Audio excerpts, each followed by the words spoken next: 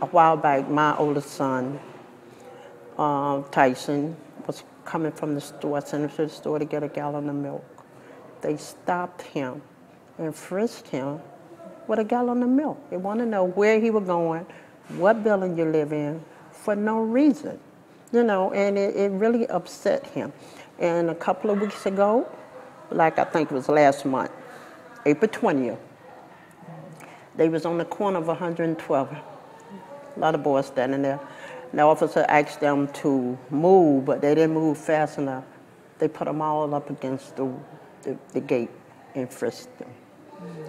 They didn't find anything, but they did frisk them for no reason at all.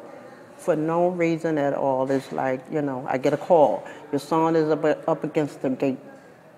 You didn't move fast enough. I mean, how fast do, where do they want these kids to go? If they walk outside, while back, a couple of weeks ago, my son sitting on the fence before they took the scaffold down. They came, put handcuff on him.